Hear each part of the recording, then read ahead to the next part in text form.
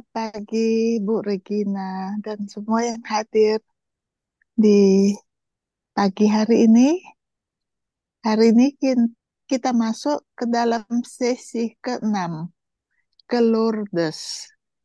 Dalam panduan Francis, di dalam kisah tentang Santo Louis dan Jelly Martin. Keluarga Martin menempuh, menempuh perjalanan panjang menuju Calvary. Hari ini kita akan menemani Jelly dalam perjalanannya ke Lourdes dan pada bulan-bulan setelahnya ketika menjadi jelas bahwa kankernya tidak akan disembuhkan.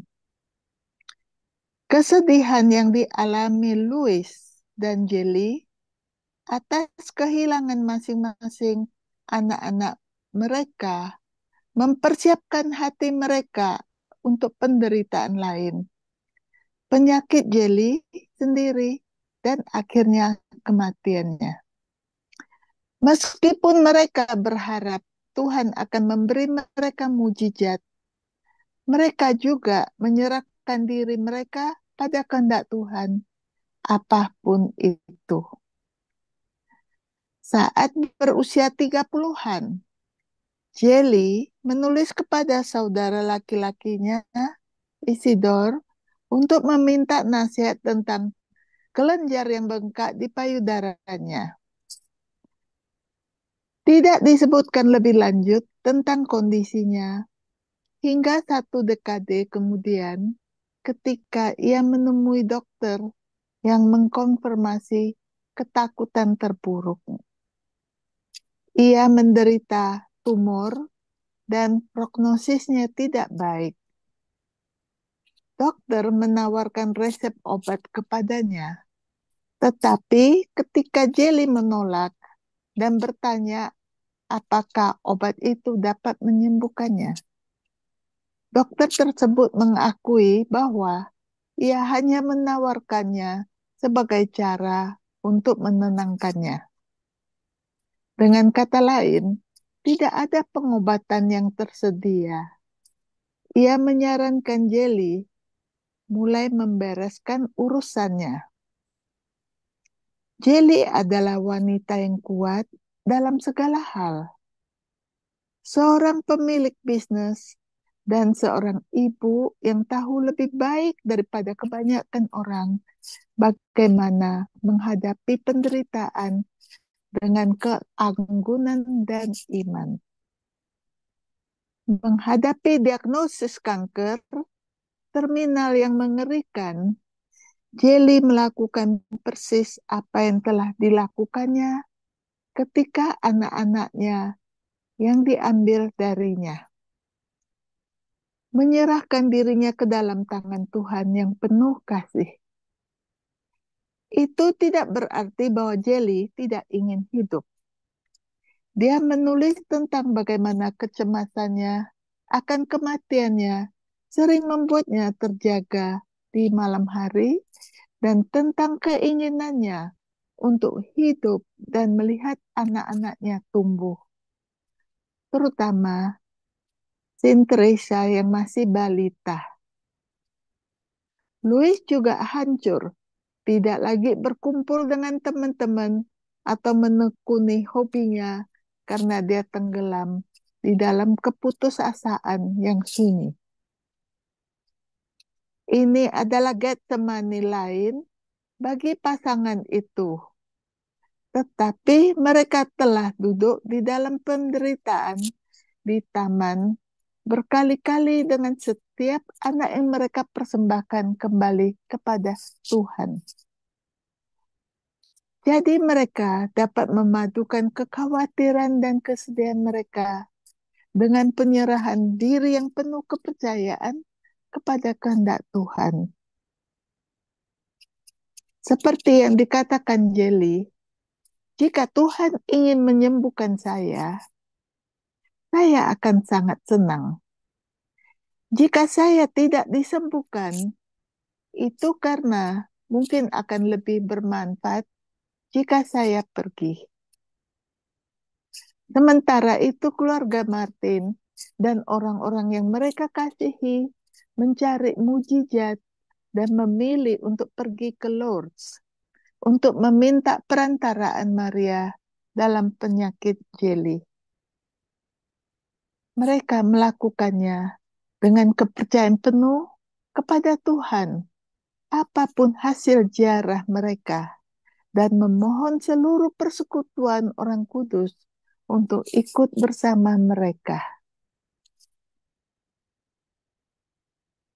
Dikatakan oleh Jelly, saya juga memiliki empat malaikat kecil di surga.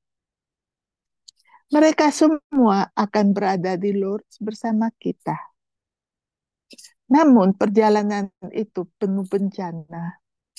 Anak-anak sakit, barang-barang mereka akhirnya tertimbun di dalam kopi. Mereka kehilangan rosario, ketinggalan kereta, dan bahkan membantu menguburkan orang asing yang meninggal di dalam perjalanan tersebut. Satu demi satu kemalangan menghantui para penjara saat mereka menuju Lourdes. Louis yang tetap tinggal di rumah di Alenkern menunggu dengan penuh harap di dekat pintu untuk sebuah telegram yang mengabarkan jawaban atas doa-doa mereka, sebuah mujizat untuk menyembuhkan istrinya. Namun telegram itu tidak pernah datang dan Jelly pulang ke rumah dalam keadaan lebih sakit dari sebelumnya. Kekuatannya terkuras oleh perjalanan itu. Maka penderitaan Jelly pun dimulai dengan sungguh-sungguh. Rasa sakitnya di luar biasa. Ia sering tidak bisa tidur atau menggerakkan lehernya tanpa menangis. Ketika kesehatannya menurun dan rasa sakitnya bertambah parah, Yeli semakin mengandalkan rahmat Tuhan. Ia berdoa novena untuk tetangga yang membutuhkan pertolongan. Bersikeras untuk pergi ke misa untuk menerima ekaristi dan meminta orang-orang yang dicintainya untuk berdoa hanya memohon rahmat yang ia butuhkan untuk memanggul salibnya dengan berani. Pada hari-hari terakhir hidupnya, suaminya yang penuh kasih sering memeluknya seperti seorang anak. Rindu untuk meringankan rasa sakitnya dan menangis bersamanya sepanjang malam penderitaan yang panjang. Pada tanggal 26 Agustus, Louis pergi mencari seorang pastor untuk memberikannya sakramen terakhir, yaitu sakramen minyak suci. Pada tanggal 28 Agustus, Jelly meninggal dunia. Ditemani oleh suami dan saudara laki-lakinya di, di samping tempat tidurnya. Kata-kata terakhirnya yang tertulis adalah, jika perawan Maria yang terberkati tidak menyembuhkan aku, itu karena Tuhan ingin aku beristirahat di tempat lain selain bumi. Tresia baru berusia empat tahun ketika ibunya meninggal. Tetapi pengaruh Jelly pada putri bungsunya tetap bersama orang suci itu sepanjang hidupnya. Tricia menulis dengan sungguh-sungguh bahwa karya terindah dari hati Tuhan adalah hati seorang ibu. Menurut bunga kecil, Tuhan memberinya seorang ibu dan ayah yang lebih layak untuk surga daripada bumi. Pada tahun-tahun setelah kematian Jelly, kenangannya terus memberkati kehidupan anak-anak dan suaminya.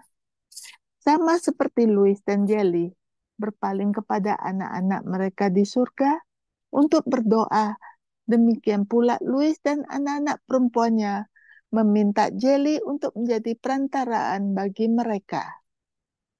Keluarga mereka meskipun untuk saat ini dipisahkan oleh kematian, tetapi menjadi keluarga yang penuh cinta dan ketergantungan pada Tuhan. Louis sangat berduka atas istrinya. Ia hampir tidak dapat menanggung perpisahan singkat selama pernikahan mereka. Perpisahan terakhir dalam kematian ini hampir terlalu berat untuk ditanggungnya. Di lain waktu, di sesi, di sesi berikutnya, kita akan melihat bagaimana Louis menghabiskan tahun-tahun terakhirnya dengan memanjakan putri-putri tercinta dan kemudian satu demi satu mengucapkan selamat tinggal dengan penuh rasa cinta saat mereka masing-masing berangkat ke biara. Mari kita luangkan waktu sejenak untuk mengingat orang-orang terkasih kita yang telah pergi ke surga sebelum kita.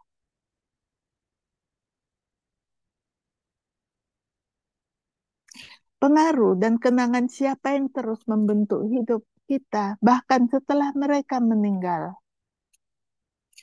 Siapa dari hidup kita sendiri yang kita yakini sebagai orang kudus. Mari kita hening dan memohon orang-orang kudus di surga untuk mendoakan kita dan berdoa bagi jiwa-jiwa orang yang terkasih yang telah meninggal. Mari kita akhiri seperti biasa dengan doa yang diajarkan Jeli kepada putri-putrinya dan diulang-ulang sepanjang hari. Ya Tuhan, kuserahkan hatiku kepadamu. Ambillah, kumohon, agar tidak ada makhluk yang dapat memilikinya, kecuali engkau sendiri, Yesusku yang baik. Amin. Santo Louis dan Santa Jelly, doakanlah kami.